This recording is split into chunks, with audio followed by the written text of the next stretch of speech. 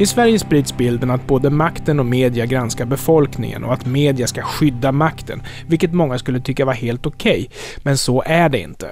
Media granskar makten, eller åtminstone bör media granska makten, och makten företräder folket. Om vi låter oss vaggas in i den felaktiga bilden kommer makten passa på att företräda sig själva i skydd av varandra och i värsta fall i skydd av pressen. Det spelar ingen roll att regeringen är vänster.